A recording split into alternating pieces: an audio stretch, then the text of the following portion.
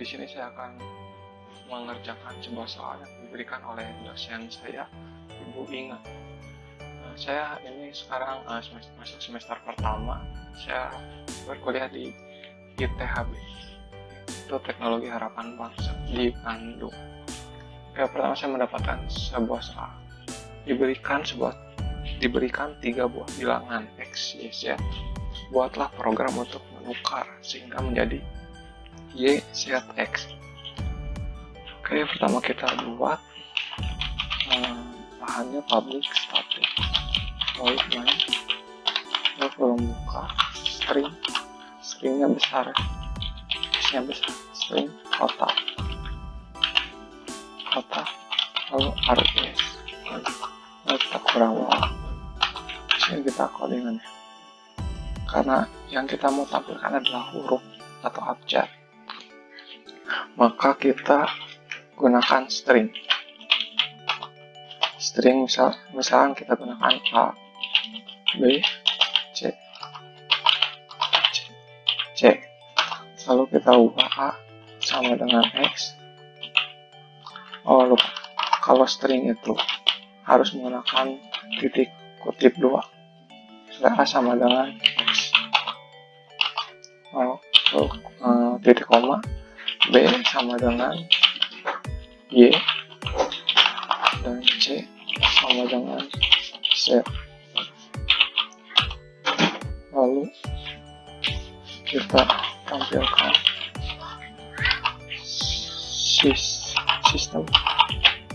Sistem dot out dot print agar menggunakan enter atau lain kita gunakan lm line lalu kurung buka kita masukkan A tambah B tambah C.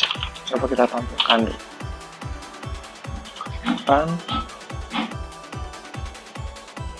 Dan oh sudah bisa cuma di sini nggak ada komanya jadi kita tambahkan. Hmm, oke spasi biar biar rapi. Tambahkan koma lagi. Oke coba kita run ulang. Oke udah sama ya. Lalu untuk yang kedua kita tampilkan agar menukar menjadi y z x. Berarti kita tampilkan a sama dengan karena A itu uh, inginnya menjadi Y inginkan menjadi Y maka A itu sama dengan B. Sehingga kalau ditampilkan itu A sama dengan B yang tadinya B itu Y jadi A akan menjadi A akan menjadi Y lalu ya urutan kedua itu harusnya Z kita ubah B sama dengan yang tadinya B itu adalah Y kita akan ubah menjadi Z. Z itu ada di C. Jadi kita ubah B sama dengan C. Lalu yang terakhir nah urutannya adalah X. Maka C sama dengan A.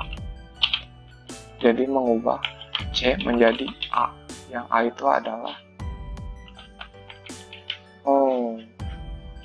karena ini hanya udah diubah menjadi B, maka si C ini. Kita uh, sebenarnya bisa dua cara. Bisa kita gunakan,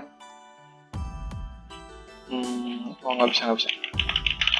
Nah, jadi kita buat lagi variabel di sini, uh, namanya, kita ubah di sini, namanya uh, nitip coba ya kita ubah nitip sama dengan yang di sini. Nah, di bawah. Nitip sama dengan a. Yaitu x. Jadi nitip ini bernilai x. Lalu kita pakai di sini. C nilainya adalah nitip jadi di sini A akan sama dengan B yaitu A akan sama dengan B yaitu Y lalu B sama dengan C yaitu Z dan C sama dengan nitip itu nitip itu A tadi A pertama.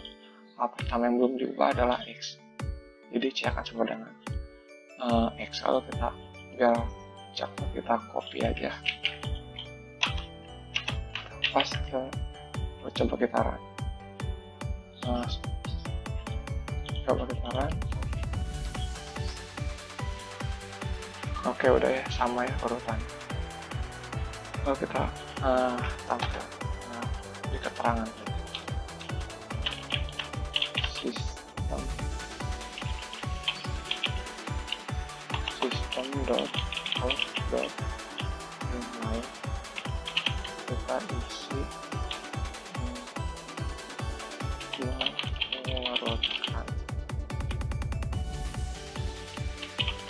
mengurutkan yang di bawah ini. Dan soalnya kita menjadi jadi cepat menjadi. Menjadi. Ini oke beres sekarang sekali lagi.